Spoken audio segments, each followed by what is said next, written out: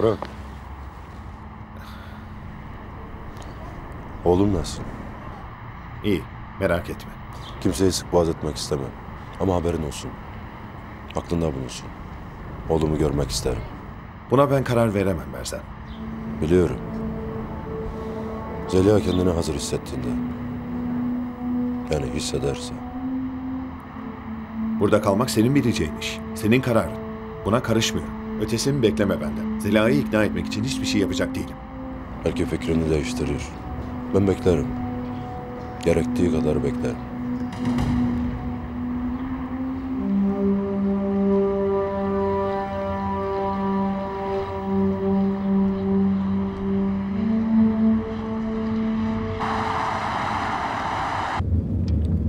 Farklı bir dünya var burada.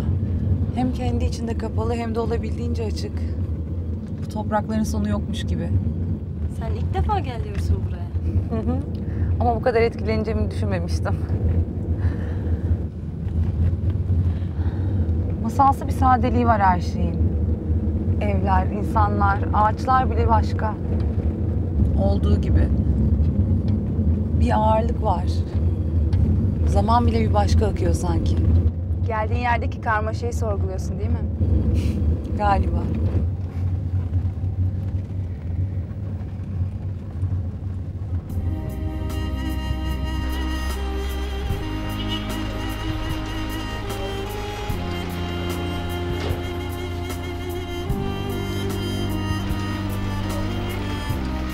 Dilaver.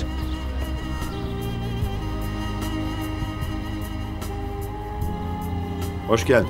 Hoş bulduk. Her şey yolunda mı?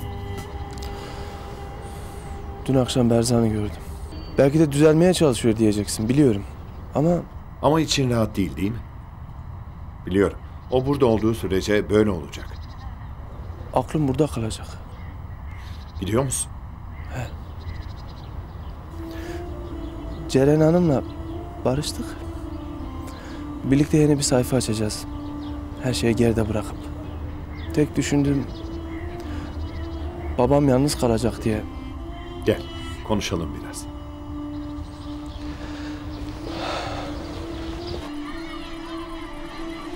Onlar büyüdüğünde her şey çok farklı olacak. Değiştirecekler. Daha güzel, daha aydınlık bir dünya kuracaklar. Vallahi şimdiden heyecan bastı ha. Dur bakalım ne yapacağım. Seni çok sevecekleri kesin.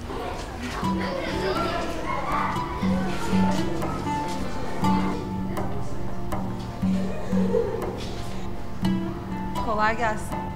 Sağ olasın. Hadi görüşürüz.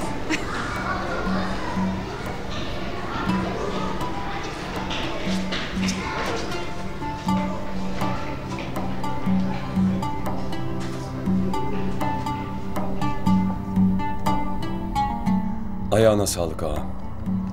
İhtiyacın olan bir şey var mı Murat? Ya da senin için yapabileceğim? Sağ olasın. Ağam. İznin olursa bir şey soracağım. Sor tabi. Sen bu Boran ağayı iyi tanır mısın? Hayırdır Murat? Niye sordun?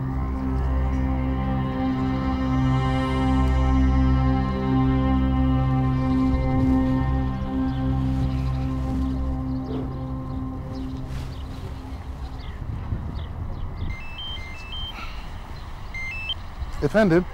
Alo Zeynel. Aa merhaba Celil Aga, nasılsın? İyiyim vallahi ne olsun. Sen nasılsın iyi misin? Ya sağ olasın. Biraz yorgunluk var üzerimde işte. Yani hani başını kaşıyacak vakit yok derler ya, işte öyle bir şey. Bu arada yeni bir iş bağladım da, o beni yordu biraz. Yapma ya. Vallahi ben de e, bugün müsaitsen sana uğrayayım diyecektim. Rica ederim, senin için vakit olmaz olur mu? Görüşelim tabii. İyi tamam o zaman. Hem gelir bir çayını içerim. Oralarda görmüş olurum değil mi? Ee, yok yok, sen fabrikaya gelme. Ben çıkmak üzereyim. Dışarıda buluşuruz. Tamam kardeşim sen nasıl istersen. Ee, e, neredeysen söyle, hemen gelir seni bulurum ben orada. Vallahi ben nerede olacağım? Her zamanki yerimdeyim işte kahvede. Tamam, oldu. Hadi görüşmek üzere. Evet.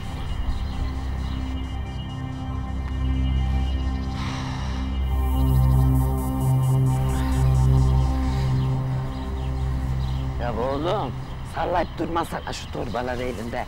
Ne olacak ki? Torba işte. He, Sen eve gidince onun içindeki gazozları açmayacaksın? Açacağım. Hey, bomba gibi patlasınlar da gör gününü o zaman. Ha tamam. Ha, tamam. Bedar? Tanımadın beni değil mi? Ben Zarife. Benlilerin Zarife. Hatırladın mı? İyi ki Zarife'yi değil de seni almışım ha. He, hatırladım. Duymadıydım geldiğini. Tatile herhal. Yok, temelli döndüm. Beyim vefat etti. Bir sene oldu. Başın sağ olsun. Sen de sağ ol. Büyük şehirde bir başına olmuyor. Çocukları da aldım döndüm. İki hafta oldu geleli. Hayırlısı. Sen nasılsın? Bu da senin. Yok, torun bu. Oo, sen bayağı yol almışsın. Görüşmeli kaç sene oldu tabii. He, öyle oldu. Görüşelim. Babamların evi biliyorsun. Bir gün çık gel.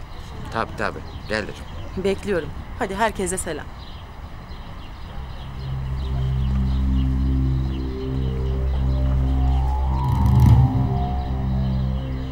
Ana kim bu kadın? Zarife. Ha babamın zarifesi. Sus sıpa. Nereden babanın zarifesi oluyormuş? Yürü. Allah Allah.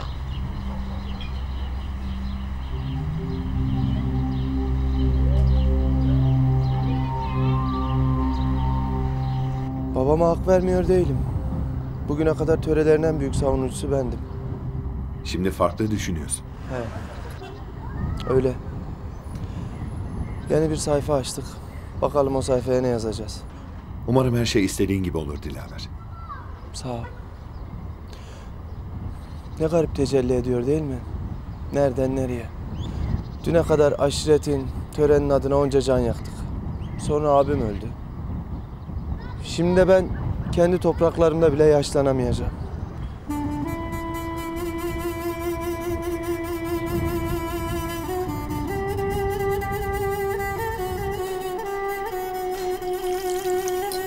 Teşekkürler. Peki İstanbul'dan sonra buralara alışmak zor olmadı mı? Bilmem. Aslında mesele nerede olduğunuz değil, kiminle olduğunuz. İnsanın sevdikleri yanında olmayınca mutlu olamıyor. Haklısınız. Burada, İstanbul'da ya da dünyanın öbür ucunda. Kiminle olmak istediğiniz önemli ve ne kadar istediğiniz. Dilaver'le karşılaşmasaydım böyle bir ihtimal muhtemelen hiç olmayacaktı hayatımda. Ama şimdi burada yaşayabilirim diye düşünüyorum. Zorluklar olacaktır elbette. Ama aşılmayacak gibi gelmiyor hiçbir şey bana. O zaman burada mutlu olmamanız için hiçbir sebep yok.